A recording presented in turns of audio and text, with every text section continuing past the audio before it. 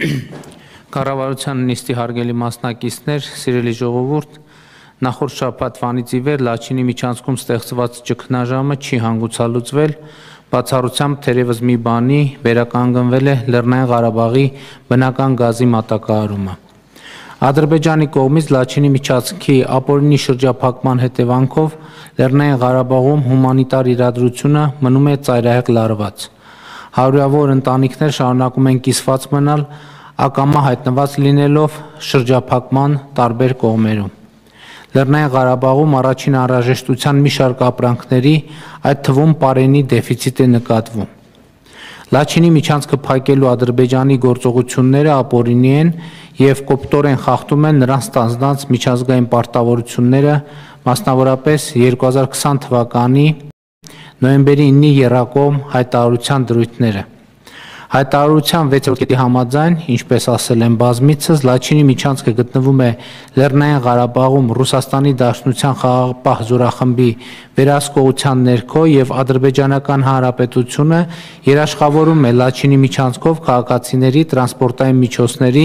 եւ բեռների երթևեկության անվտանգությունը։ Այս դրույթը այսօր փաստացի չի իրագործվում դե ֆակտո ստացվում է, որ Երակոմ հայտարարությամբ արձանագրված պարտավորությունը, այն է վերահսկողության տակ պահել Լաչինի միջանցքը, չի կատարում նաև Ռուսաստանի Դաշնության խաղապահ զորախումբը։ Իհարկե նման բան տեղի է ունենում Ադրբեջանի ապօրինի գործողությունների հետևանքով, բայց սրանից իրավիճակը չի փոխվում, որովհետև Ռուսաստանի Դաշնության խաղապահ զորախմբի ներկայության առանցքային իմաստը հենց դա է՝ թույլ չտալ, որ նման ապօրինություն տեղի ունենա եւ մասնավորապես եւ վերահսկողության տակ պահել Լաչինի միջանցքը։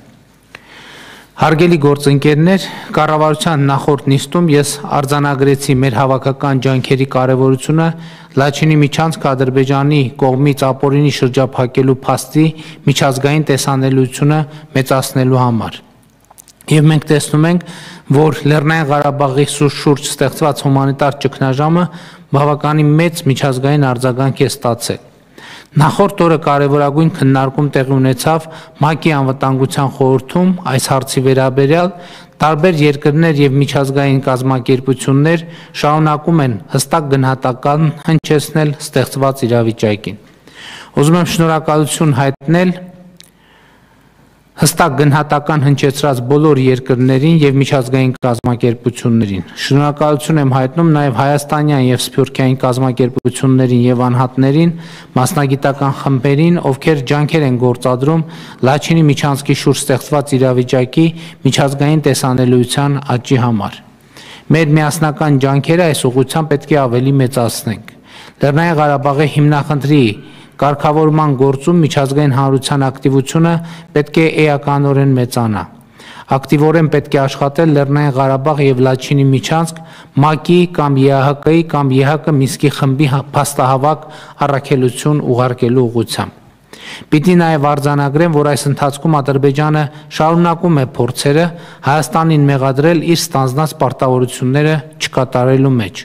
Նման փորձերը սին են եւ հիմնազուրկ եւ այս թեմային ես բազմիցս եմ անդրադարձել։ Ի հավելում եմ պիտի ասեմ, որ Հայաստանի Հանրապետությունը Ադրբեջանին է փոխանցել խաղաղության պայմանագրի շուրջ իր առաջարկները եւ մենք պատրաստ ենք ստորագրել այդ բովանդակության պայմանագիրը։ Հույս ունեմ Ադրբեջանի արձագանքը նույնպես դրական կլինի։ Հայկական կողմը դեռևս ամիսներ առաջ Ադրբեջանին է փոխանցել սահմանազատման եւ սահմանային անվտանգության հարցերով հանձնաժողովի հետագա աշխատանքների հետ կապված իր առաջարկները, սակայն մինչև օրս պատասխան չենք ստացել։